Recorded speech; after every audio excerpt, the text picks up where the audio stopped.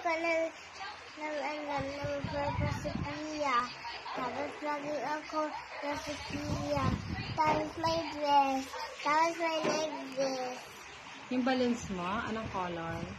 Purple. Yung dress ni Sophia, anong color? Purple. Tapos yung necklace. Necklace.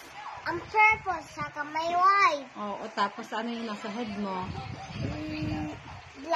Oh, may crown. Tapos yung buhok ni Sophia, iksi lang, ganyan, oh. Yung ganyan siya, yung ganyan. Yung ganyan haba. Tapos maging ano siya. Maging ano chacha. Mm-mm. Sa birthday mo yun, yun ang wish mo. Sabi mo kay mama. Tapos maging ako Elsa. Akala naging Elsa si Sophia. Ah, sasabihin mo. Tapos maging ako, maging ako princess. ở học cơ xã đấy wow. ba ba